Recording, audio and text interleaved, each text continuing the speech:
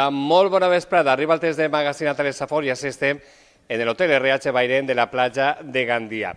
Ja saben, no fa falta que els ho diga, que s'acosta el dia eh, dels enamorats, el dia 14 de febrer, que encara no tenen clar quin regal o no han pensat quin regal fer-li a la seva parella, doncs bé, no pensen més, perquè, per exemple, un bon regal és regalar un cap de setmana o un dia en la seva nit a si mateixa, en l'hotel RH Bairén de la platja de Gandia, disfrutar dels eh, seus menús, d'un bon sopar en eh, romàntic, però també un bon allotjament de la seva spa, la seva sauna, així és que no pensem més. Però bo, nosaltres hem vingut així a treballar. Anem a fer-los dues propostes en este test de magazine a Telesafor.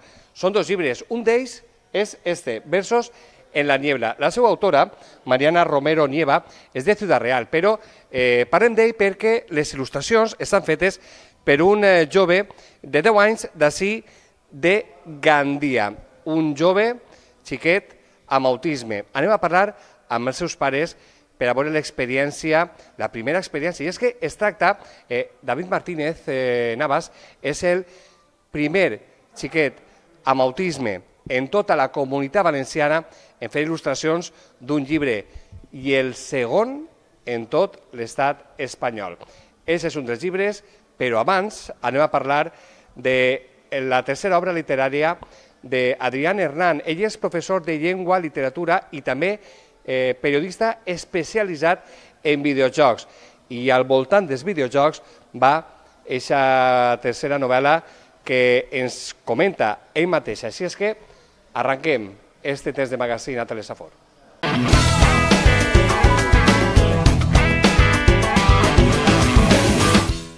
Vive, sueña y muere por la colonia. Ese podríem dir que podria ser el resum del que és l'existència del protagonista d'esta novel·la, d'este llibre que tenim damunt eh, de la taula en este primer tam del test de magazine a Telesafor, és obra d'Adrián Hernán de Sales, Unlimited Colony i amb nosaltres el propi autor per a explicar-nos el contingut d'aquesta, el seu tercer treball literari.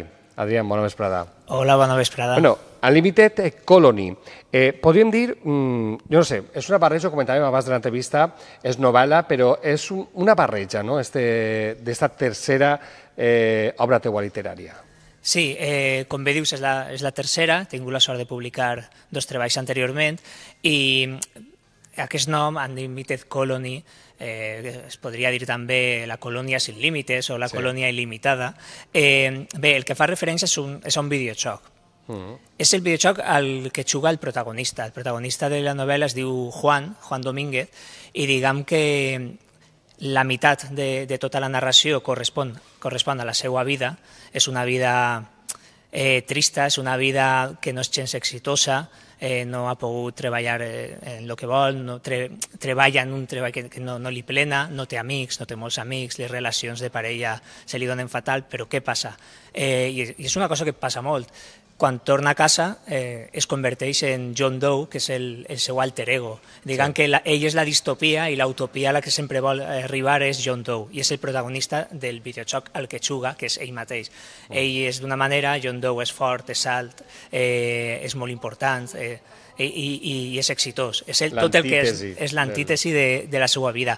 Per tant, la narrativa d'aquesta novel·la parla de, de dos vides. Una vida comú, una vida diària a València, està ubicada a València, a Benimaclet, també a Gandia, de, de la seva vida, les seues relacions personals, és un, jo el diria un costumbrisme còmic, i després tenim John Doe, aventures espacials, eh, eh, coses molt, eh, diguem, molt més de ciència-ficció, clar, uh -huh. que, que la vida de, de Juan Domínguez. Són aquestes dues clar, eh, realitats. Mirant este, este llibre teu, eh, l'estètica és completament dels videojocs. A més, eh, tu eh, treballes com a professor eh, de llengua i literatura castellana, però a més eres periodista especialitzat en tecnologia i videojocs. Eh, el tema dels videojocs eh, t'ha acompanyat durant tota la teva vida, pràcticament. Sempre, sempre. Jo sóc el primer que els dic als meus pares que, que aquells dies que, que em veien jugar i dient ja està bé deixar la maquineta, sí. que, no, que això no tens que viure d'això, pues, vas viure de, de, de videojoc durant molts anys, van ser uns anys molt, molt interessants, també molt irregulars, no? en qual ja saps la, la realitat de, de, dels periodistes especialitzats en videojocs pues, és una realitat diferent i, i, i bé, que no pots veure molt més enllà. I, i sempre, sempre m'ha acompanyat des de menut, eh, són els propis videojocs, jo als agraïments crec que comente gràcies als videojocs, a la música, a la cultura en general, que sí. m'han fet ser com soc. I, i així és com és Unlimited Colony. És una novel·la on la cultura pop és molt important, pese a que la narrativa té un, té un pes interessantíssim i majoritari, pues, els videojocs, eh, les novel·les de ciència-ficció, eh, les novel·les d'aventures... Compare inclús la novel·la amb eh, un treball de, de Cervantes, eh, per, uh -huh. Los trabajos de Persiles y Segismunda. Eh, és, una novel·la, és una novel·la que, bizantina que, que es pot comparar molt al món d'un videojoc i, i amb això vull dir que el protagonista perd el, una cosa que, que, que vol, eh, no mos, sempre sol ser la, la dona, l'amor, i, i passa per una sèrie de fases eh, al final de cada fase sempre hi ha un enemic al qual té que derrotar i casualment el segon enemic sempre és més fort que l'anterior. Vull dir, té una estructura 100% de, sí. de, de videojoc, videojoc. i vull dir que que no, no és algo que inclús algú que no siga fanàtic o no li agrada els videojocs eh, pot trobar una novel·la molt interessant en quant a eh, les aventures que, que passa el protagonista i tota la seva vida a València, a part de la, del seu alter ego a, a videojoc. Mm. Diguem que el, el motor de la novel·la és que el creador del videojoc Conxuga eh, diu eh, que van a fer un concurs, diguem, una, una gran batalla en el qual de tots només té que quedar un. El millor guanyarà un premi metàl·lic enorme, pot canviar la seva vida. Entonces, eh, Juan creu que si ja que és tan bo, tan bo amb, amb el, el videojoc eh, de rol online, diguem, eh, pot arribar a guanyar aquest premi i, ah. i ja poder viure de, del que ell creu que pot viure.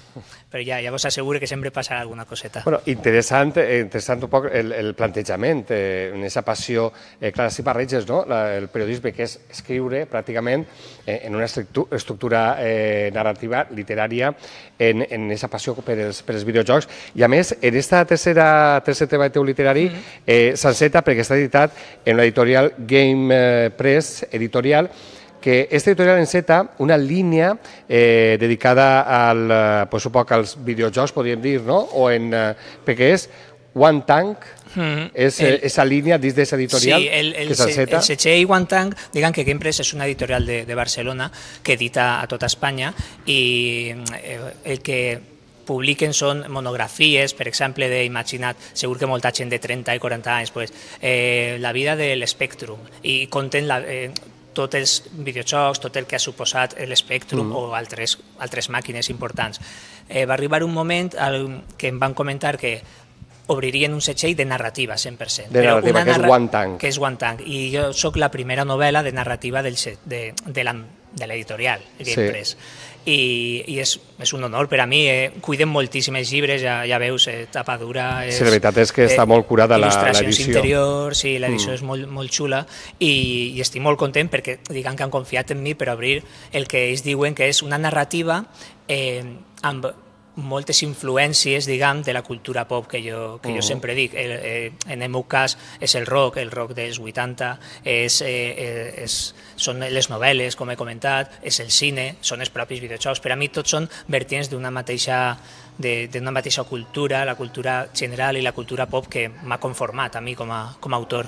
Ah, eh, bueno, tu de fet en els agraïments, eh, parlant un poc d'aquesta música de, de rock, eh, sí. la barreja dels videojocs, tu dius eh, que ahir en casa ja anava coent aquestes passions perquè eh, esta novel·la no seria possible si jugar hasta altas hores de la noche eh, a certs eh, videojocs eh, i mentre sonava i sonava la música de. Rock a casa. Sí, és molt, molt interessant perquè eh, pot ser que recordem algunes píldores no, de, de contingut al nostre servei del passat i jo sempre tinc una imatge que és eh, el meu ordenador no anava molt bé i la targeta gràfica, no, ai, perdó, la targeta de so sí. no, no anava, entonces eh, ficava música. El meu germà Òscar em va regalar un, un casset amb molts grups, molt eclèctic tot, eh, tenia tant eh, des de la Unió eh, que ha vingut a, a Siagandia moltes voltes, a, fins a Metallica o Iron Maiden, era molt eclèctic, però aquest, aquest grups, mentre jo jugava als videojocs, que encara que així fique fins a, fins a la matinà, primer feia els deures i després jugava. Vull dir que, primer a complir, després ja... I després ja disfrutar.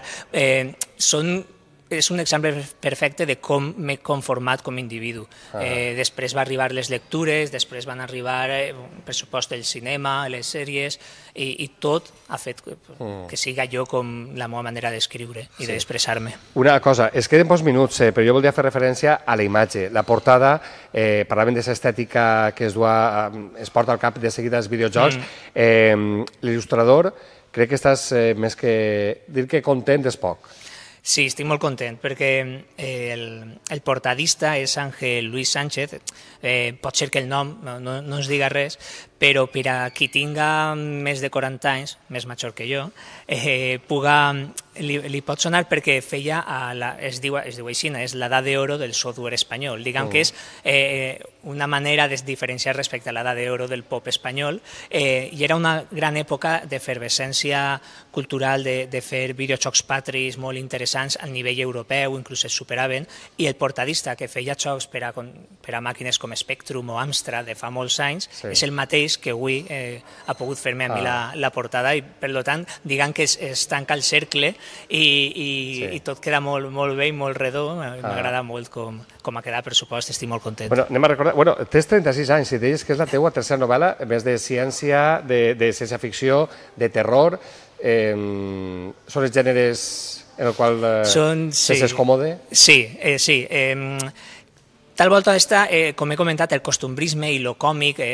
eh, té molta més importància, mm. però sempre diguem que són els gèneres que a mi sempre m'han interessat i, i bé, pressupost estic obert a noves coses, però diguem mm. que, que és el, el que jo em sent més còmode. Espero poder sí. escriure més Perfecte. en el futur. Molt bé, eh, Adrián, moltíssimes gràcies eh, per dur-nos este tercer treball teu literari en Limited eh, Colony. Eh, esperem, i de ben segur que és tot un èxit, anem a recordar que està en l'editorial Game Press eh, i que s'enceta aquesta línia d'esta editorial One Tank eh, que eh, du aquest àmbit dels videojocs ja en el format eh, de novel·la pura, pura i dura. Eh, moltes gràcies. Mm. Moltes gràcies i només dir que també es pot eh, comprar al Cort Inglés, a la FNAC, a totes les llibreries i ah. que, que molt bé, estic molt content perquè té un, un, eh, un llançament nacional. Estic ah. molt content. Perfecte, moltes gràcies. Moltes gràcies. Fins una pròxima. Nosaltres eh, posem el punt i seguit perquè ara és que el que es comentava a l'arranc del programa, anem a conèixer els pares eh, d'un eh, jove eh, que és autista i podem dir que ha fet realitat el seu somni, que és il·lustrar un llibre.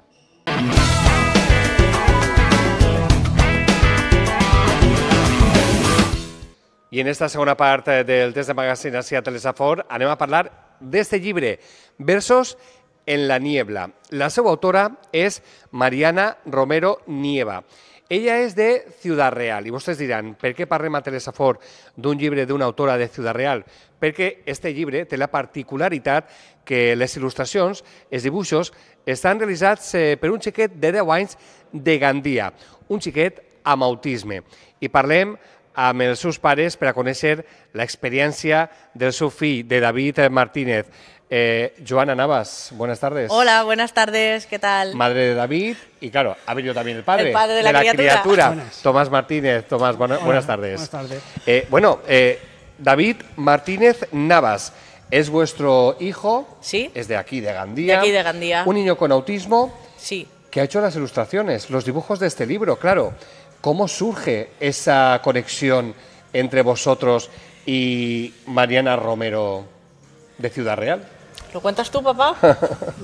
Entre los dos, ¿cómo Nada, surge? Pues eh, Joana eh, tenía en el Facebook, la seguía la mujer esta porque son, son la familia de Joana es de Del mismo de- pueblo que Mariana, ella. sí. y bueno se conocieron y como ella le seguía por los poemas que le gustaban como escribía la mujer y, le- y se puso en contacto con ella para pedirle que si nuestro hijo podía hacer las ilustraciones del libro Claro, en ningún momento lo, lo dudasteis, No, no, no. En, en un principio, claro, ella me seguía a mí porque veía cómo yo tra- trabajamos el papá y yo con David, veía los avances que tenía, dibujos que también eh, hacía David, entonces se puso en contacto con nosotros y dijimos que vale, que lo íbamos a intentar, que no le prometíamos nada porque claro, con esas características, pues nunca sabes te pueden sorprender Sí. gratamente y así ha sido, nos ha sorprendido gratamente. O sea, os ha sorprendido Sí, gratamente sí, vuestro eh, hijo. en ningún momento, o sea, le dijimos lo que queríamos que hiciera, que dibujara, y él, que es lo que pidió la, la mujer, Mariana, y a la primera hizo los dibujos y son los que hay, no... ¿Y, y cómo fue el- el proceso de, de elaboración de los dibujos? ¿Lo dejasteis solo? Mm, eh, ¿Le ayudas? ¿Cómo fue? ¿Fue en un momento, en una tarde? Eh, ¿Cómo Eh, fue ese proceso de...? Hay, eso le preparé yo, hay un- unas fichas que hay para aprender a dibujar, Sí. que pues en cuatro partes te explica el proceso de dibujar pues, un caracol, una casa.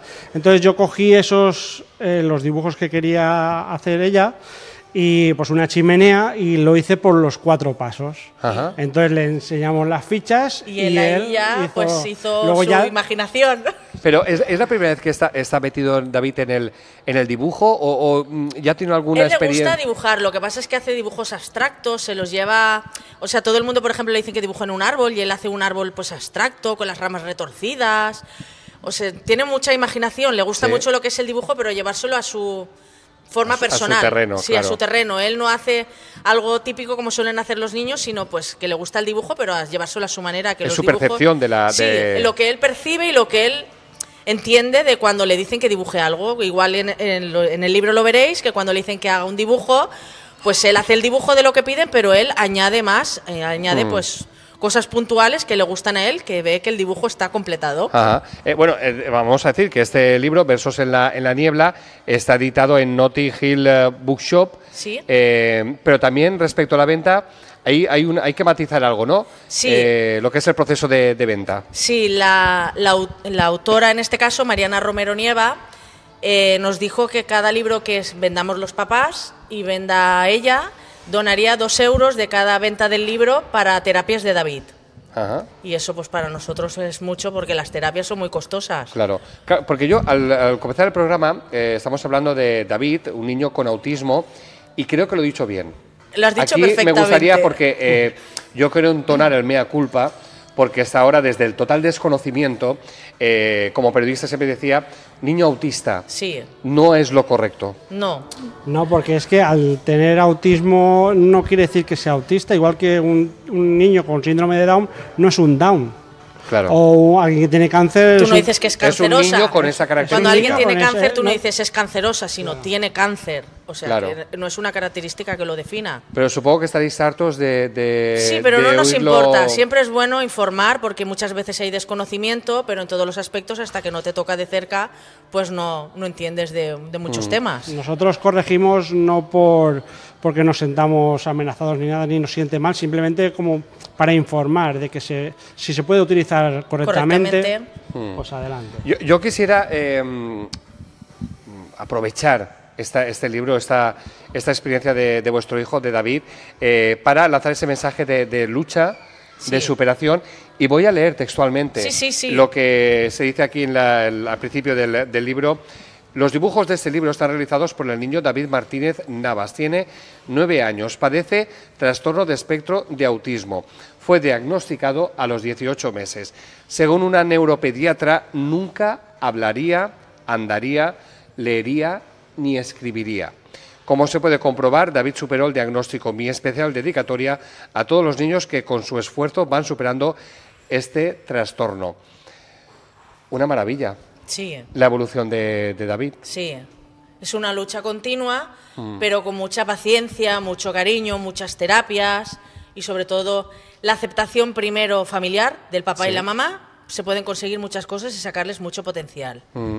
Eh, yo sé que, que- que vosotros sois, eh, sois también referente, un, un ejemplo de, de esa lucha, eh, y yo creo que ya a través de esta experiencia literaria, eso es, es un empujón, ¿no? Sí, Más como para, para, romper para mitos de que igual Claro. que David puede, se puede. El día que se hable de que esto no es algo extraordinario, sino algo normalizado, que hablaremos de inclusión real, de que, o sea, de que siempre no es un caso único, sino que hay más personas que hacen algo, pues como Mm. nosotros cotidianamente. Tú lo has dicho, inclusión real, Sí. porque la teoría nos la sabemos No, todos. Mm. la teoría no la sabemos todo, pero la práctica no es, no es esa. Pero vosotros, eh, supongo que como familia, una piña. Sí, mucho. Y eso, David, lo sí, percibe. lo percibe. Es feliz, es un niño feliz. ¿lo Y eso es lo más Que es lo más importante. importante al fin y al cabo, que el Sí. niño sea feliz. Le gusta hacer cosas, probamos que haga todas las cosas que pueda, atletismo. Si hay algo que vemos que no le gusta mucho, pues a otra cosa. Como cualquier persona. Sí, como cu- al- pero pa' le pon- música. Claro, hay que, hay que, a- por Hay que probar. la Hay que probar y fomentar lo va, que le va a la piscina mucho, pero cuando empezó a ir a la piscina, todas las clases eran gritando. Era caótico. Entonces tú puedes, Sí. claro, puedes decir, vale, pues ya no lo llevo más a la piscina. No, hay que, Sí. Hay que insistir. que- ¿Cuántas cinco minutos? Por cinco minutos. Mañana diez minutos. Claro. Y al final va dos veces a la semana la- y más feliz que nadie. ¿Eso significa que habrá una segunda parte como Sí. ilustrador? La- sí, la primera edición ya está súper agotada. Ah, eso es que se me olvidaba, me lo has comentado antes. Sí, Primera sí. edición y ya vais a por la segunda edición. Ya por la segunda edición. Habrá una extensión que la autora va a poner más poemas y eh, em, claramente con más dibujos de David. Mm. Eso Porque el libro las- se ha vendido a nivel mundial, no solamente en la comunidad valenciana, sino y en toda España, sino en Argentina, en México, en Alemania, en Japón. Mm. Se ha vendido muchísimo. O sea, que Versos en la niebla está dando la vuelta al mundo. Está dando la vuelta al mundo y se está hablando de David, un niño de Gandía. Efectivamente, y, y nosotros encantados de teneros aquí con, con nosotros. Y lo que decía, segunda edición, pero seguramente, ¿por qué no? Habrán otro- otras, otras, eh, otros trabajos ¿no? que pueden incluir ilustraciones de David. Sí, eh, tiene un proyecto que estamos en ello, que quieren hacer... eh, uy, no me sale ahora, me he quedado yo. Quieren hacer una exposición de cuadros de David Ah. en el Museo de Bellas Artes en Madrid. En el Museo de Bellas Artes de Madrid. Se dice pronto, ¿eh? ¿Y cómo se quedan eh, los padres, Joana y Tomás, cuando hablamos de esa posibilidad? Bueno. Y bueno, de momento, cuando venga ya, ya veremos cómo sí, estamos. estamos, estamos concretando cosas y viendo más proyectos que nos ofrecen. A nosotros a todos decimos que sí, porque si el nene está capacitado y él quiere, ¿por qué no? Se prueba, si funciona, estupendo. Que no, no pasa nada, a otra cosa. Mientras tanto, a disfrutar. Sí, sí, a de disfrutar del momento. Toda la familia. Joana Tomás, muchas gracias, Muchas gracias por visitarnos. Eh, enhorabuena eh, por eh, ser el padre y la madre que sois y, y- y por hacer de David un niño feliz. Muchas gracias. Muchas gracias. Hasta la próxima. Hasta la próxima, gracias. Ja veuen, una experiència de lluita, de superació.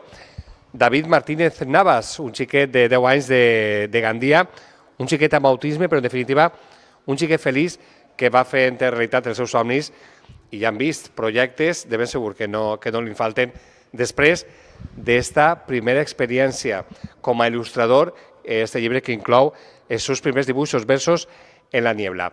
Per la nostra part, no res més. Gràcies per la seva atenció. Un plaer estar així amb vostès i si tenen ganes de més, ja saben on trobar-nos, així, en el magazín de Telesafor.